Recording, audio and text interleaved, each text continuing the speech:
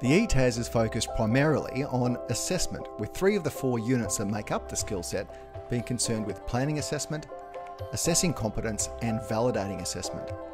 The fourth unit provides training in work skill instruction. The skill set is designed for trainers and assessors who deliver non accredited training or work with other trainers delivering nationally accredited training. All four units can contribute towards the achievement of a Certificate 4 in Training and Assessment. The delivery unit focuses on instruction and demonstration, how to organise your training, how to conduct the instruction and demonstration itself, how to check for training performance, and also how to review your personal performance to ensure you employ strategies for your own professional improvement.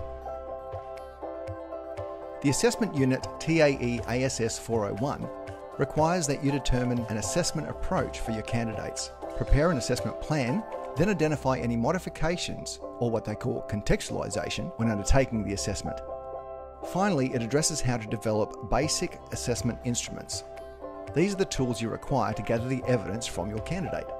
Assessment Unit TAE ASS 402 considers the skills required to deliver an effective assessment.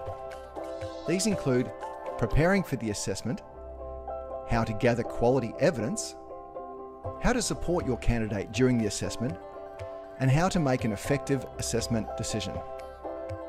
Finally, it covers how to record and report the assessment decision in accordance with your normal operational requirements, and how to review the assessment process itself.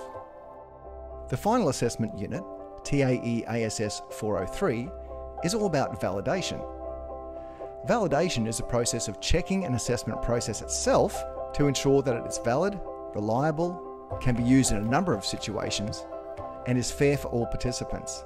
There are strict rules around conducting validation, and these are addressed in the program, as well as conducting a minimum of three validations on the assessment instruments that you created during the program itself. So, in a nutshell, that's the ETASS. I hope you enjoy undertaking this qualification.